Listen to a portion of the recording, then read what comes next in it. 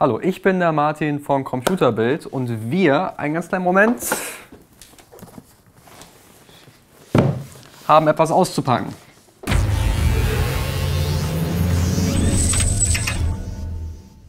Das ist nämlich hier drin, nicht ausschließlich, aber unter anderem das Asus Zenfone Zoom S.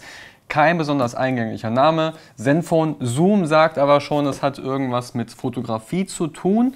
Und das S steht nicht etwa für Small, sondern für Superior, schätze ich zumindest mal. Und jetzt gucken wir mal, was in dieser riesigen Schachtel, die uns Asus geschickt hat, drin ist. Ich mache hier mal auf. Und dann seht ihr, hier sind erstmal so ein paar Kärtchen, die einem sagen, catch the moment. Da soll man hier sehen können, was man alles Tolles machen kann mit dieser Kamera, aufnehmen kann. Sieht gut aus, aber da ist noch viel mehr zu entdecken. Ich mache hier mal die Klappe weg und kipp das mal eben, dass ihr das so seht, wie ich das auch beim ersten Aufmachen gesehen habe. So sieht das Ganze aus. Nämlich einmal haben wir hier eine ominöse Schachtel. Was es ist, das erzähle ich euch gleich.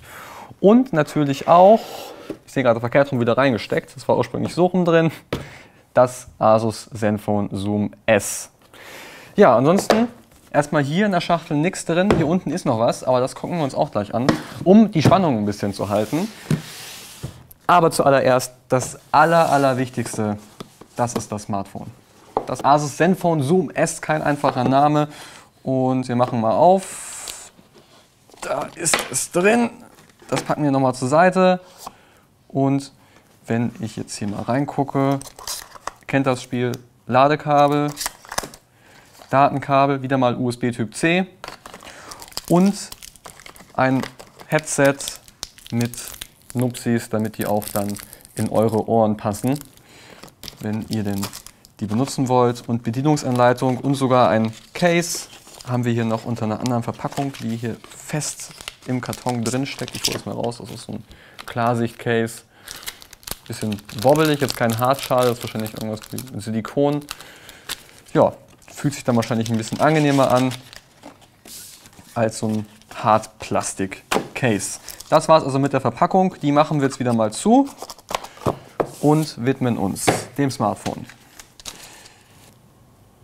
Wie gesagt, das ist das Asus Zenfone Zoom S, ein 5,5 Zoll Full HD Display. Innen drin werkelt ein Qualcomm Snapdragon 625 Octa-Core Prozessor, das heißt 8 Kerne bis zu 2 GHz, 4 GB Arbeitsspeicher kommen dazu, je nach Ausführung und dann gibt es noch 32, 64 oder 128 GB Speicher. Genau, aber vor allem interessant ist hier, vorne diese Kamera und die hat tatsächlich 13 Megapixel. Das habe ich zumindest gerade dem Produktblatt entnehmen können. Ähm, entgegen den Sensoren auf der Rückseite, die haben nämlich nur jeweils 12 Megapixel. Wir schalten das Gerät einmal ganz kurz an. Das ist ein relativ helles Display. Das ist schon mal positiv hervorzuheben eben. Bei dem Gerät ist auch äh, tatsächlich ein High-End-Gerät oder siedelt sich so in der High-End-Klasse an, auch wenn der Qualcomm Snapdragon 625 jetzt nicht der potenteste Prozessor der auf dem Markt ist momentan. Ich entsperre es mal ganz kurz. Wenn man das in, zum ersten Mal in Händen hält, seht ihr also hier, das ist der, der Launcher, das ist hier der Startbildschirm, so wie man es eigentlich von vielen Android-Smartphones kennt. Und wir gucken ganz kurz, in den Einstellungen, welche Android-Version da läuft. Und dafür da, 6.0.1. Da sollte, schätze ich mal, demnächst irgendwann mal ein Update aufschlagen auf Android 7.0.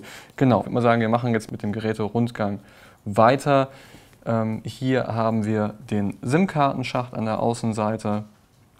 Hier kann man jetzt nochmal einen SIM-Tray mit so einem nadelähnlichen Stecker rausholen. Hier oben ist ein Mikrofon. An der Seite hier haben wir die Lautstärke, Wippe und den Power-Button. Alles in einem Metallrahmen, Metall, schön auch mit Metallabdeck gehalten. Hier unten zum Beispiel ist Plastik, damit ähm, ja, die Netzverbindung hierüber ähm, stattfinden kann. Und das ist auch in einer ähnlichen Farbe gehalten. Das heißt, das sieht nicht so gestückelt aus. Hier unten ist eine Besonderheit, das ist ein USB-Typ C. ähm, Anschluss. Praktisch ist auch, das Gerät hat 5000 mAh und wenn man sich ein ähm, beidseitig, also wenn man sich ein USB-Kabel holt, das auf beiden Seiten einen Typ C-Stecker hat, kann man das sogar als Powerbank benutzen. Das lohnt sich sogar bei 5000 mAh. In der Tat richtig. So, jetzt kommen wir aber zum Allerwichtigsten, nämlich das ist, oder das sind die Kameras auf der Rückseite, denn um die geht es ja beim Zenfone Zoom S, deswegen hat er ja diesen hübschen Namen. Das hier sind zwei 12-Megapixel-Sensoren. Ein äh, Sensor ermöglicht einen Zoom bis zu 2,3 Mal. Das ist sozusagen das, das Maximale, was sich da rausholen lässt. Alles zwischen 1 und 2,3-fachen Zoom wird zwar digital errechnet durch die Bilddaten der ersten Kamera, ist das aber alles ein bisschen klarer, als wenn man jetzt rein optisch auf 2 zum Beispiel zoomt. Und dadurch kann man jetzt eben Sachen 2,3 Mal näher ranholen mit dem zweiten, ohne Bildverlust wie eben auch bei Apple. Ich glaube aber, da ist es ein reiner doppelter Zoom. Hier hat man eben noch 0,3 mal draufgelegt.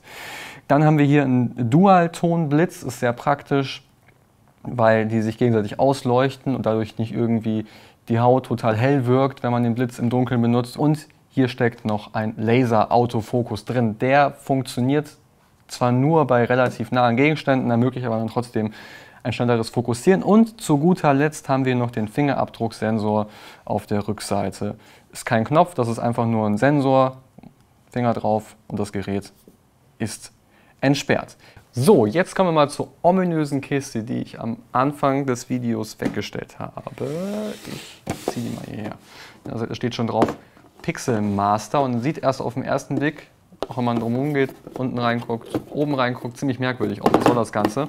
Asus möchte zeigen, wie gut die Lowlight-Funktion des Smartphones ist. Und dafür hat man sich was Besonderes ausgedacht. Man hat hier einfach eine Kiste mitgeliefert, die, auch wenn hier ein bisschen Licht durchkommt, irgendwie muss hier auch Licht in die Kiste rein, damit das Foto irgendwie belichtet werden kann. ist klar. So, und das bauen wir jetzt mal zusammen und ähm, starten einmal ganz normal die Kamera. Die wechselt auch automatisch jetzt zu Lowlight und packt da die Linse rein und jetzt stellt es sich um auf den Nachtmodus. Ich drücke mal drauf und ich glaube, das kann man auch jetzt schon relativ gut sehen, aber wir blenden es dann trotzdem mal ein. Sieht man, das Foto ist schon relativ hell geworden dafür, dass es in der Kiste ziemlich, ziemlich dunkel ist. Ja, das war also dann soweit mit dieser Kiste. Dafür ist die also da. Die soll zeigen, dass die Lowlight-Kamera funktioniert. Zu guter Letzt da war ja noch was in der Kiste, das habe ich euch versprochen und das möchten wir uns jetzt noch mal angucken. Das ist nämlich hier unten, wenn ich hier an dem Fähnchen ziehe, kommt da was zum Vorschein und das sieht so ein bisschen aus wie beim Optiker. Das ist es auch.